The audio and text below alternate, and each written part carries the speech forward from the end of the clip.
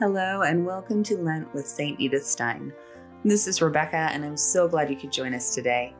This podcast is brought to you by St. Edith Stein Co., so please be sure to check out our website at stedithsteinco.com.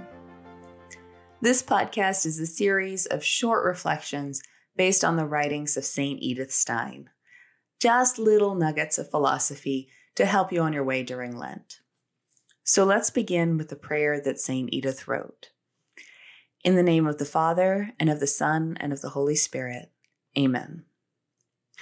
O my God, fill my soul with holy joy, courage, and strength to serve you. Enkindle your love in me, and then walk with me along the next stretch of road before me. I do not see very far ahead, but when I have arrived where the horizon now closes down, a new prospect will open before me, and I shall meet it with peace. In the name of the Father, and of the Son, and of the Holy Spirit. Amen. In her essay, The Ethos of Women's Professions, St. Edith Stein wrote The religious vocation is the total surrender of the whole person with his or her entire life to the service of God. Vocations cover a wide range of possibilities, and it can be overwhelming to discern your calling. While only men serve as priests, everyone is called to some sort of vocation. And that may take the form of teaching, propagation of the faith, works of mercy, intercessory prayer, offering up suffering. The list goes on. There is a ministry for every person which makes the best use of their individual talents. God has created each of us with intention, with purpose.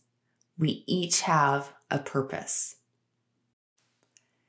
Even from a young age, a woman longs to give herself completely and to belong to another.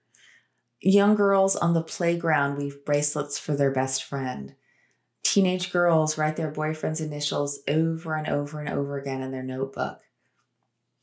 Young women plan the perfect wedding to symbolize the complete union with their beloved and mothers decorate colorful nurseries to welcome their babies into the world.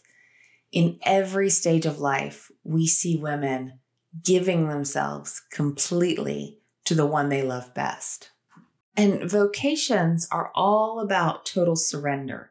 It's a matter of giving ourselves completely without reserve to God. And when we give ourselves so completely to someone other than God, it can lead to abuse and misery because no one other than God can fulfill this desire. Uh, the childhood best friend, the high school sweetheart, the husband, the children, these relationships are so crucial to us. And we need these relationships, but they will never fulfill us the way that God will. St. Edith wrote, Only God can welcome a person's total surrender in such a way that one does not lose one's soul in the process, but wins it. And only God can bestow himself upon a person so that he fulfills this being completely and loses nothing of himself in so doing.